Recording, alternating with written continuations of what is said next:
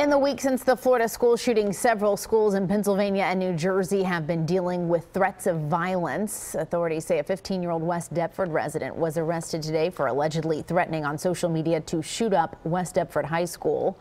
Vineland police arrested a 12-year-old Rossi Middle School student on Wednesday for causing a false public alarm. Philadelphia police have arrested a suspect accused of posting a threatening message about Roman Catholic High School. And Deptford Township police say they've identified the source of a school shooting threat made on social media last week against Deptford High School and Gloucester County Institute of Technology. Also in Bucks County, police determined threats of violence at Pennridge High School and Truman High School were not credible.